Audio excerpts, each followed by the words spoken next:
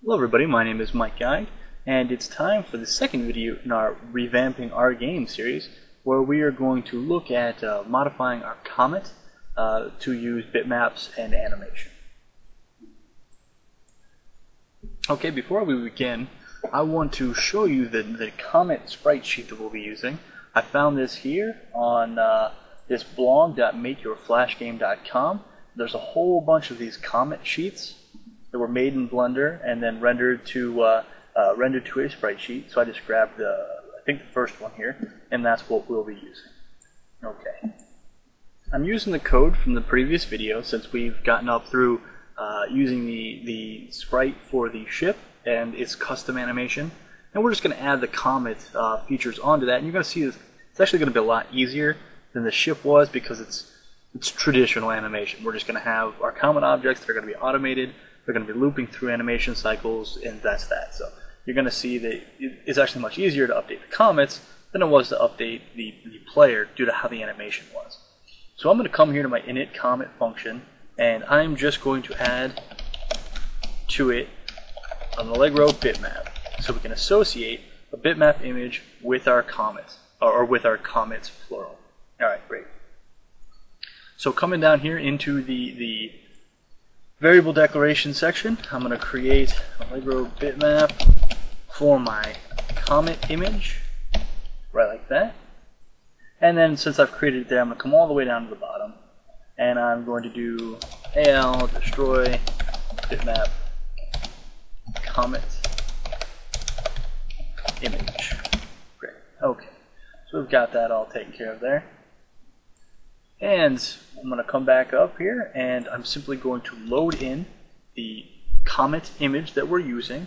So comet image is going to equal al underscore load underscore bitmap. And the name of our bitmap is just asteroid hyphen 1 hyphen 96.png. I just pasted it there instead of typing it there. Alright, great. So that loads our, our comet or our asteroid into our code so that we can use it.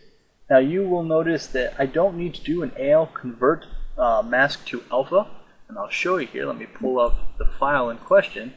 The file in question is this here, and it's a PNG, so it's already transparent. Alright, so we don't need to worry about doing any AL uh, convert mask to alpha uh, because transparency is already baked right into the image. So all I have to do now is I just need to pass this new image into our init comets do that right here. I'll uh, pass in comet image. Great. And then I'm going to come down all the way down to my init comet function. Right there. And it's here that I'm going to initialize all our new image and animation uh, variables. So I'm going to do comets sub i dot max frame.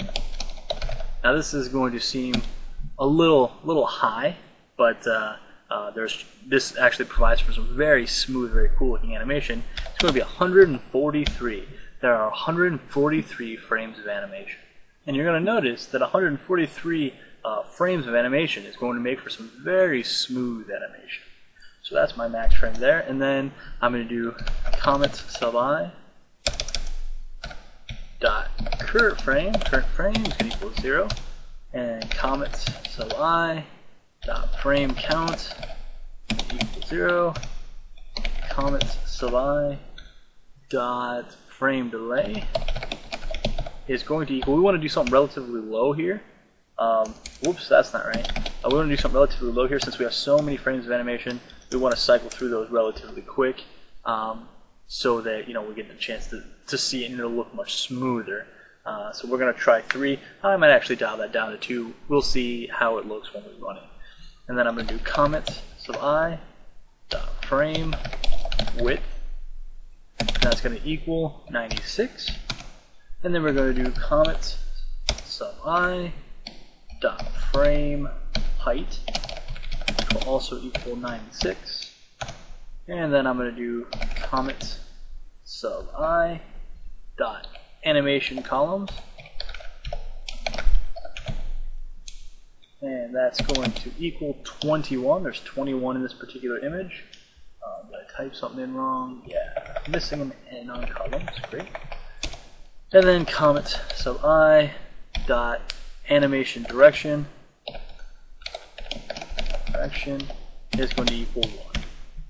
Okay, and then last but not least, comet sub i dot image equals image, the image that we read in here, which we've got a modifier function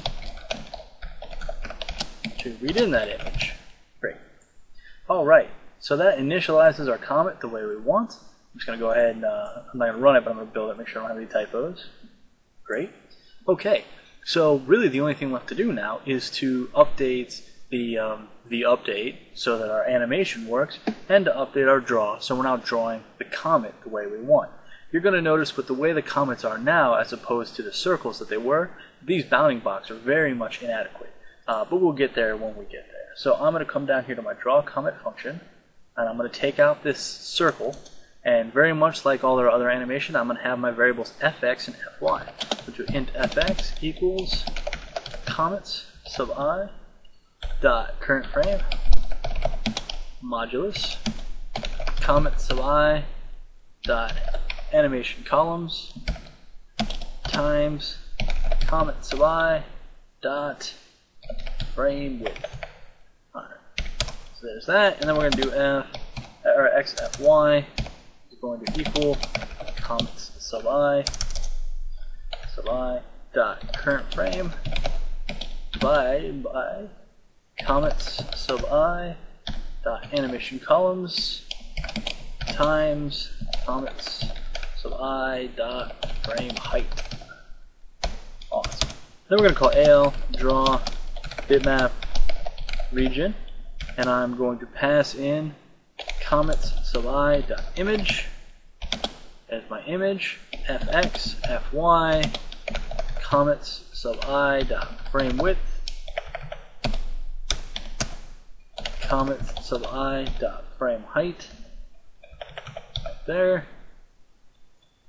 And then remember we need to do this offset. We can't just draw it at the x and the y so I got to do comets sub i dot x minus comets sub i dot frame width divided by 2 and comets sub i dot y minus comets sub i dot frame height divided by 2 and then our final parameter which will just be 0.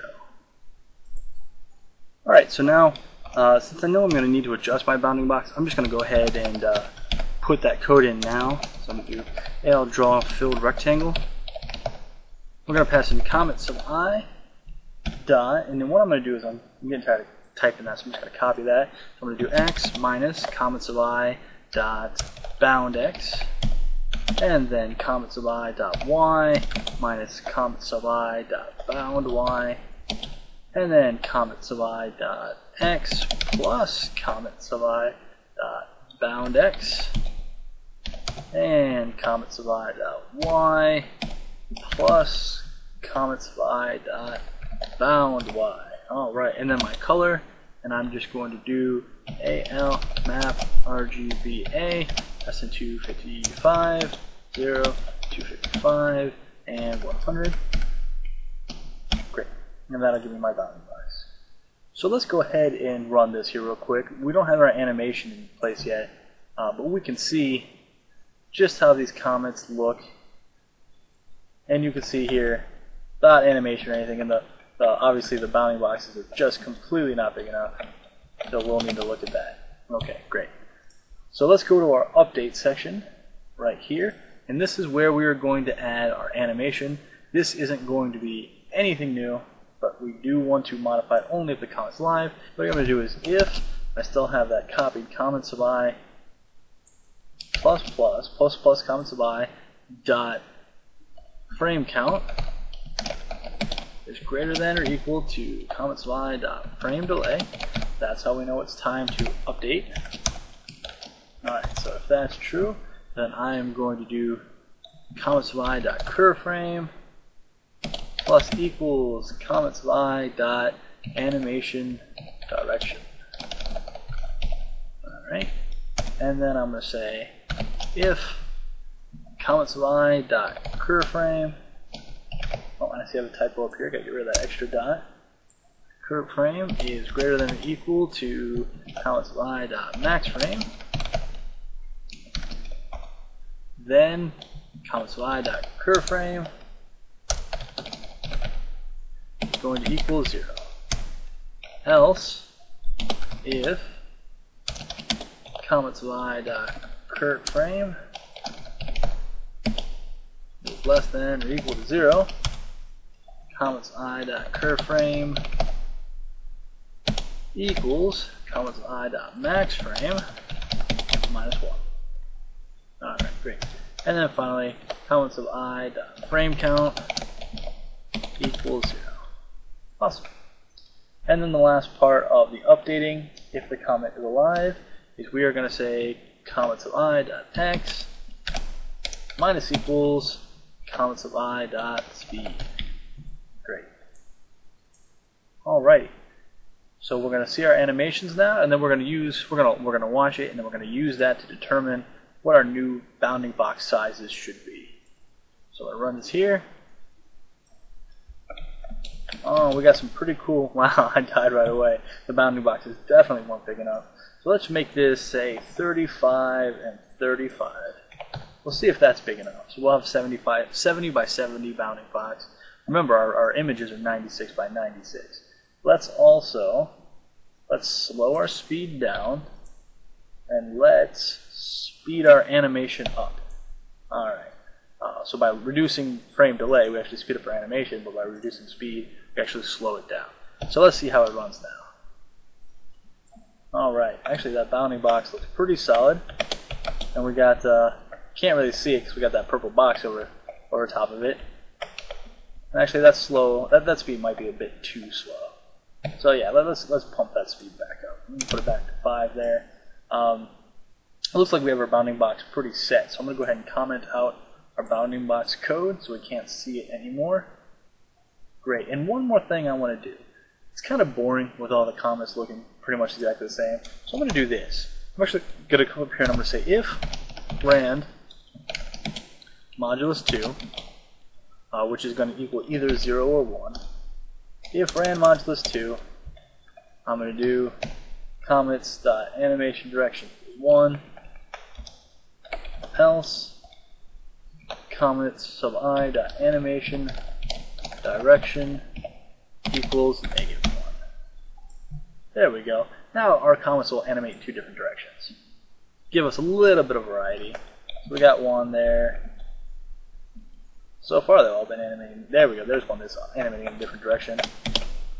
And I want you to notice these are uh, flat images. We know they're flat images because uh, we looked at the sprite sheet, but they look very 3D. I don't know how they're going to look on this recording software, but to me they look very 3D. So they're they're very appealing as far as asteroids go.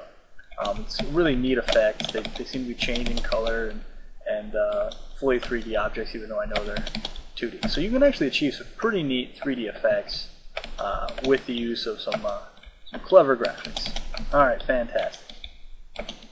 One thing you could do if you were modifying this code um, is you could make the uh, uh, comets render at different sizes using uh, using our um, uh, our, our, stretched imaging uh, functions. Of course, now on the spot I can't think of the name of it. Um, our scaled image, that's what it is. We can do our AL draw scaled bitmap region. Um, and we can use that to make these appear at different sizes if I wanted to add a scale variable to my uh, comet struct. And you could add, you know, just a little bit of spice to it. Of course, if you did that, you'd need to modify the bounding box appropriately. Uh, but, uh, but yeah, it wouldn't be too hard to implement. Okay, so that is comets. And then in the next film, we are going to be adding something completely new to the game, which is going to be explosions. Uh, those are really neat, so uh, stand by.